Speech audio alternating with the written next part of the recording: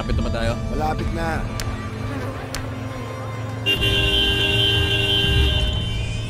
Patulang ko na talaga to ah. Patrick mo, ha? Harang-harang ka dyan, ha?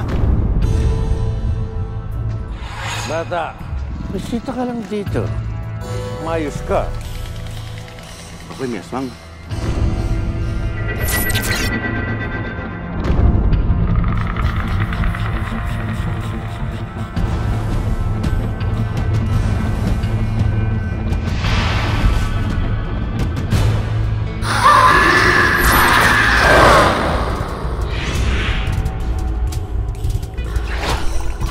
Pero aayusin ko to, okay? At sa oras na umalis yung mga putang ina aswang na yan, Sonia, kahit anong mangyari, sasama ka sa akin sa ayaw gusto mo ah. Bakoy, may malapit.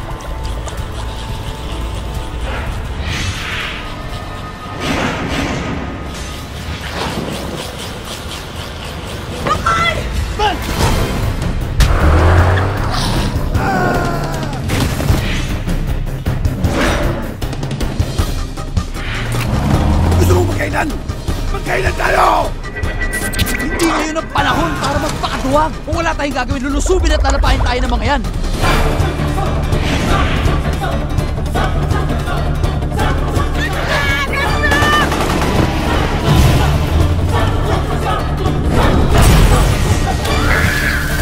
Mas gugustuhin kong mamatay na lang kaming dalawa kaysa patayin siya ng aswang.